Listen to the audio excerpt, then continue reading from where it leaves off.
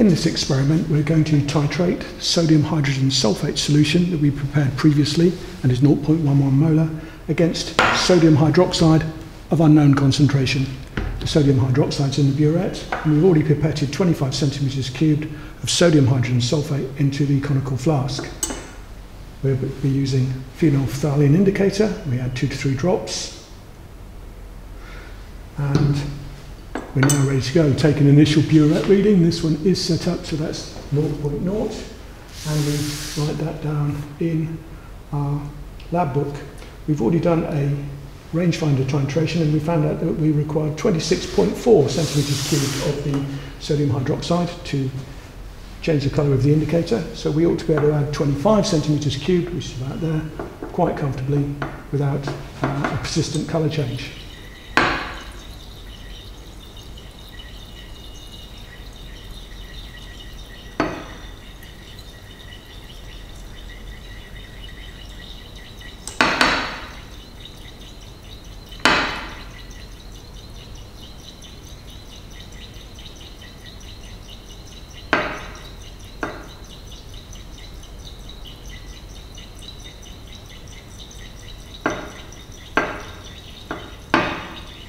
So there we have about 25.4 and with swirling we see the colour disappears. We need to titrate until we get a persistent pink colour that lasts for at least 30 seconds.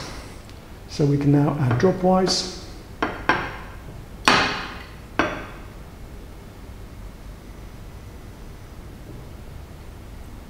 Swirling between drops.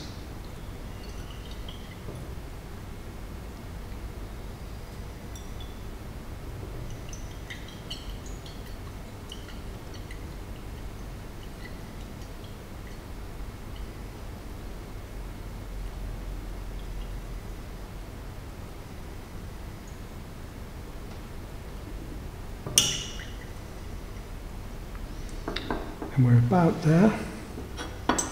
So is that colour going to persist for 30 seconds? Let's take a reading. And we've got 26.1, 2, 3, 26.35. 26.35. So in this particular instance,